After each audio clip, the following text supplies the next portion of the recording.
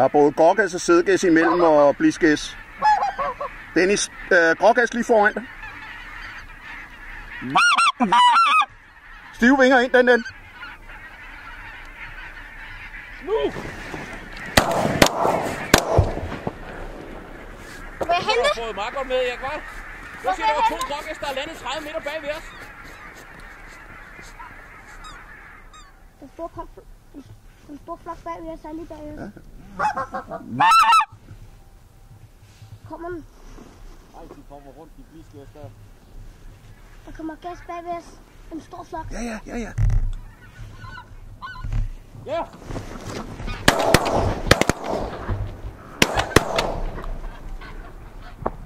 Må jeg hente? Det var skidt. Det var lidt skidt, det der. Må jeg hente? Eller hvad? Ja, jeg var lovet hen. Heller ikke, de kom lige så godt.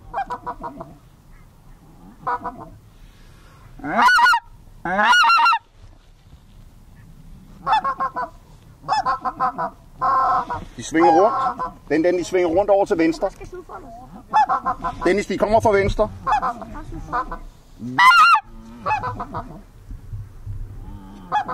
Bare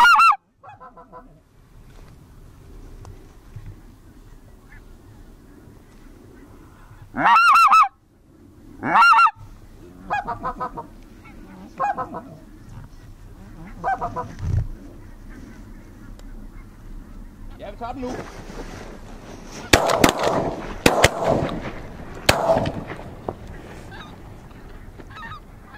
Må jeg hente? Ja, det var, ikke, det var heller ikke god skydning. Jeg gav mig bare hen. Jeg ved også lige ude til...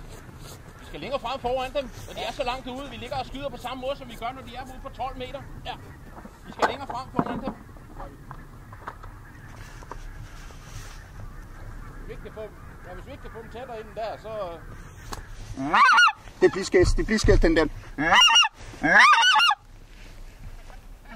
Kommer rundt.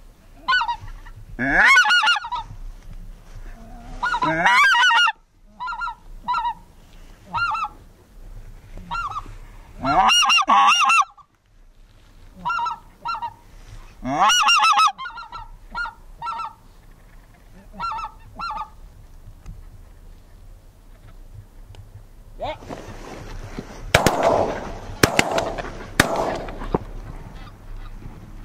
De ligger ikke godt til dig og mig ude på dem der. Øh, må kan jeg hente? Men uh, jeg kan ikke gøre noget ved det. Jeg kommer ikke rigtig.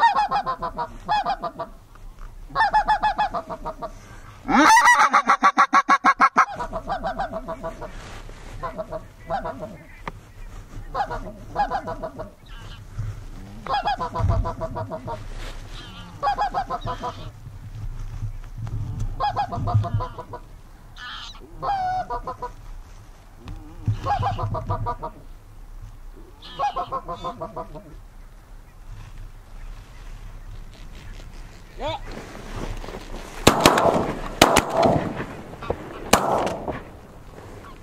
Må jeg hente? Ja. Er det godt nok, Erik? Fik du det? Bare tag godt dem over i den anden side. Vi fik fire der.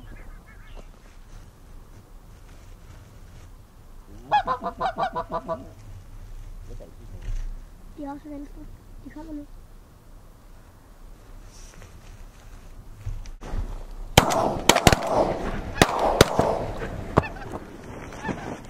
Må jeg hente? Ja. Det var første skud. Okay, du? Jeg, jeg måtte skyde den sådan. Ja, ja. Fordi de var lige op over mig. Ja, det ser godt ud, hva'? Ja, de kom godt. Prøv at se, prøv at se dernede.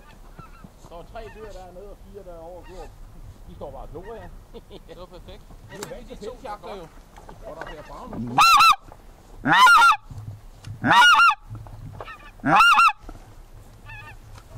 Kommer der nogen ind?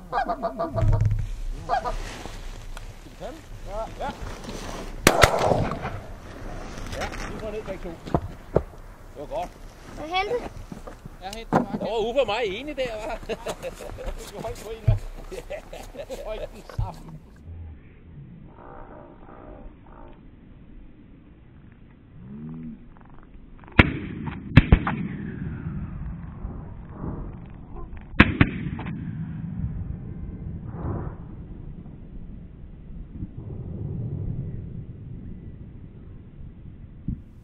Og der kommer gas ind imod os lige udefra. Ja. Der kommer, der kommer også røvgas bag ved os, og blisgas og sidegas. Det ser lovende ud.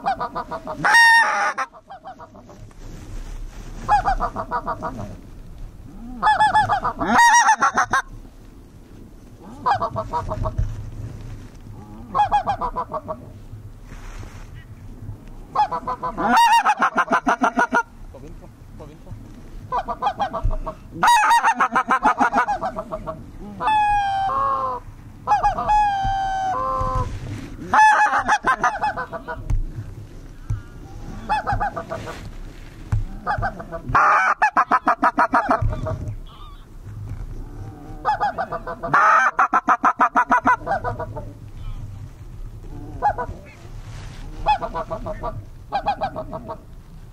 ha ha ha ha!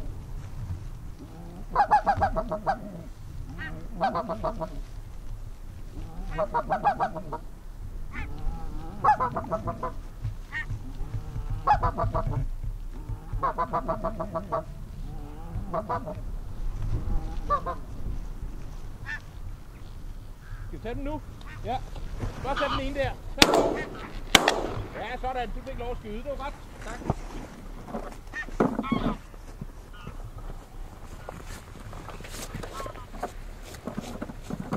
Lars, lige have en god en der. Ja, det var fornemt. af den der, hva'? Tak for den, Dennis. For den.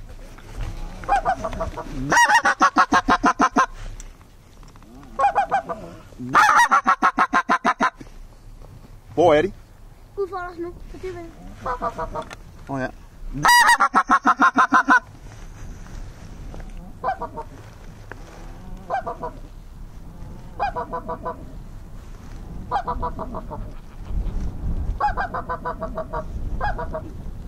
Nu!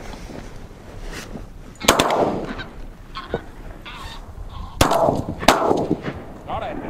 Jeg henter. Smukt! Jeg skulle lige have den fri af lokkerne. Ja, ja. Jeg kunne heller ikke skyde. øh, Jeg var nødt til at skyde, før jeg kom... øh, Jeg skød cirka øh, 8 meter foran dig, vil jeg tro. Den vej ud af. Og så kunne jeg ikke svinge med, og så var det altså der, der du skulle skyde. Du fik den. Ja, ja, ja.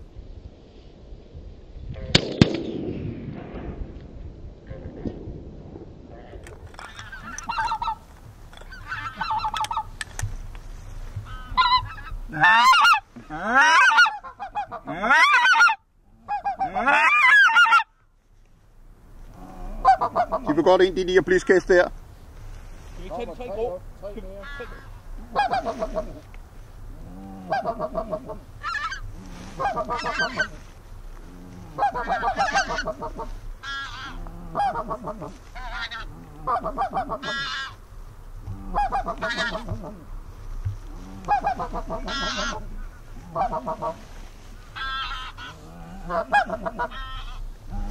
Dennis, de der to bliskæs kommer fra venstre.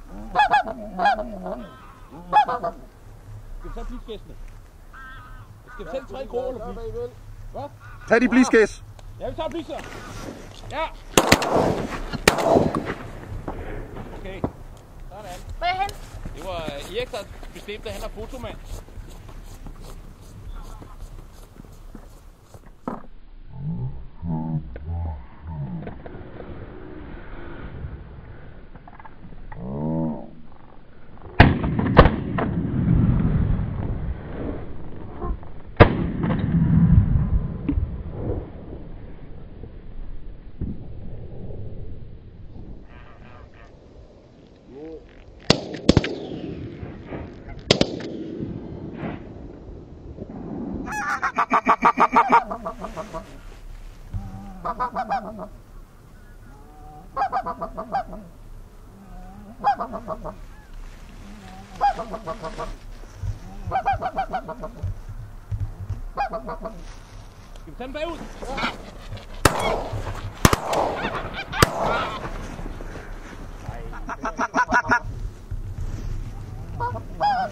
Oh, de kommer lige ind.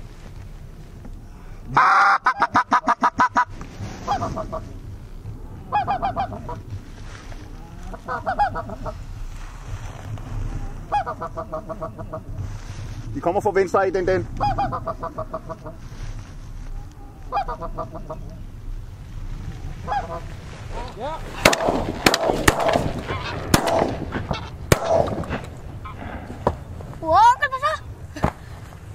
brødre. Jeg henter. Uhuhuhu. Endnu en gang, hvor det er farligt at være kameramand. Nu vidste du det ikke, at det var synd, du ikke fik den her op. Den kørte som en paraply. Hele vejen ned, så kørte den, der var, den blev skudt i hovedet. Så svævede den ned som sådan en anden faldskærmssoldaten. Den så du ikke, vel?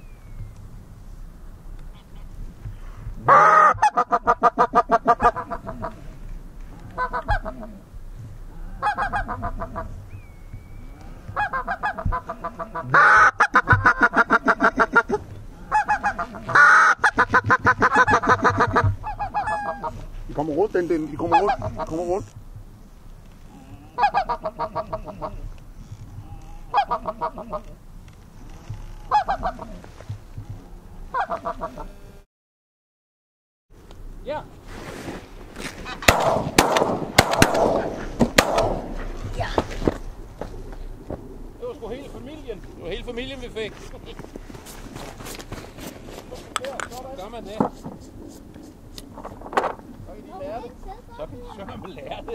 det. Er for sent nu. Hvad?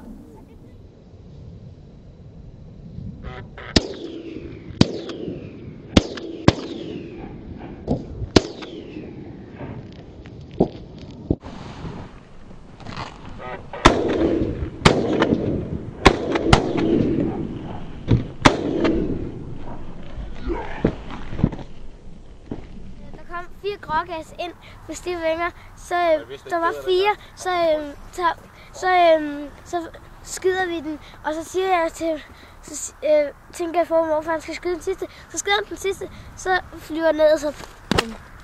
så var det. Har det været en god jagt indtil nu, Gaber? Ja, Du har godt nok også hentet mange gæs i dag, hva'? ja, Og det har været grågæs, og det har været bliskæs. Alle sammen. kun fiskas og grågas. Fantastisk oplevelse her. Og Fedt hvis du nok. fisk fiskas, Hvor Erik allerede hen der den første gang her. Han skal lige slæve nogle gæs med ned der.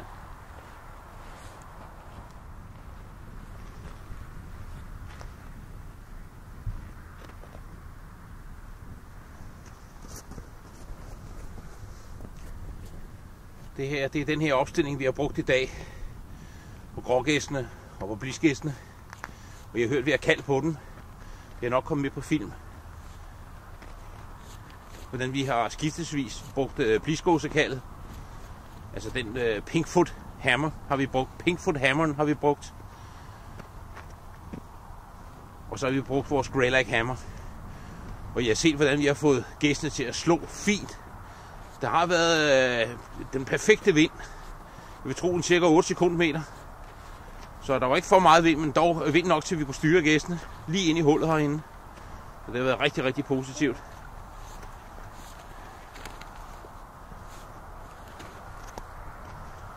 Så har vi lavet sådan en lille hul lige hen i midten. Et landingshul herinde, og den har de sådan set styret efter meget godt. Og så kan I se, vi har lavet en vinge ud der også. Med svaner hele vejen hen.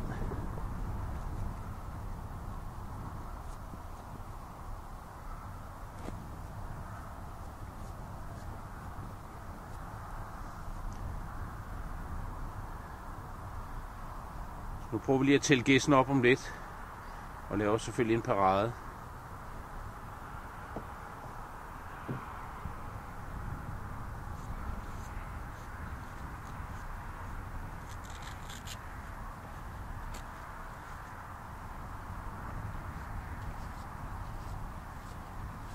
Det blev til 34 gæst. Det var en stor oplevelse, Gabriel. Rigtig, det var dejligt vejr. 8-10 sekundmeter, når det var værst. Og så solskinsvejr, og gæstene, de grå gåsearter, slog fint for vores øh, lokfugle. Med de nye svaner, vi har, og med Supreme Hunter med snowcovers på. Så det var rigtig, rigtig fint. Og du var ude og hente mange gæstskaber? Ja. Var fint, du. En flot bliskås, du har der. Har skudt. Øh, 18 bliskæs og 16 grågæs. 34 gæs. Tillykke med det.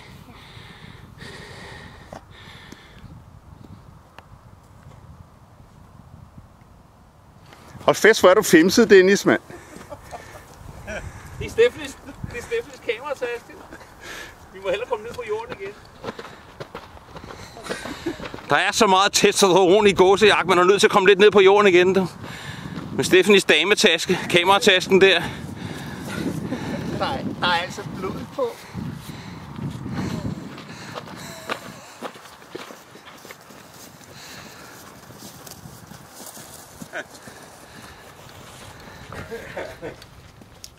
Det her det er jo anden halvleg jo et gammelt husmandssted, hvor øh, den øh, enkemanden han døde for et par år siden. Nu er det blevet til jagtstue, og det må man sige, det er der noget specielt noget her med lavt til loftet. Der er køkkenet derude, og jeg har lige knaldet nakken ind i den her. Der er jo ikke mere end 61 der eller sådan noget. Og læg lige mærke til det her. Her skal vi sidde og have lidt, lidt frokost og lidt hygge. Prøv at se her. Noget charme over det her. Åh, oh, der knaldede jeg hovedet mod igen. Der er manden boet her, sin enkemand der. Landmanden havde lidt grise og formodentlig lidt kreatur. Og herinde, der var den fine lille stue der.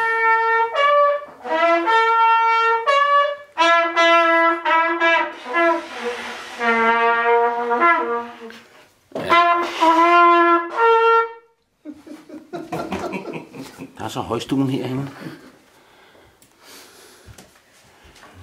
Ej, hvor er det charmerende. Nu er der et sted. Der er en dør der. Nu skal vi have kaffe. Så må du klippe det fra. Ej, hvor er det dog charmerende. Hvad, Gabriel? Har du set sådan et gammelt hjem andet end på museer?